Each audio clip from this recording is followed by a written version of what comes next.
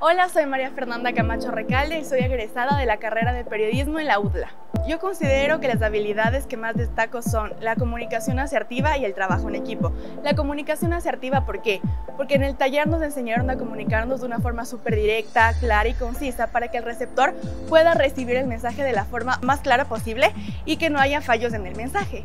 En cuanto al trabajo en equipo, en el taller, a lo largo de todo el taller, siempre hicimos un montón de trabajos con todos, entonces siempre rotábamos y eso nos permitió saber tratar con diferentes personas que capaz son un poco diferentes a nosotros, entonces nos enseñó mucho a, a tratar, a cómo hablar e incluso a cómo escribir, porque te tienes que adecuar a la escritura de la otra persona, a la forma de hablar de la otra persona, entonces esas habilidades. Como ya finalicé el taller de empleo, pues mi primera expectativa sería conseguir algo más fijo a nivel laboral. Actualmente me encuentro haciendo pasantías, entonces quisiera ya algo de tiempo completo.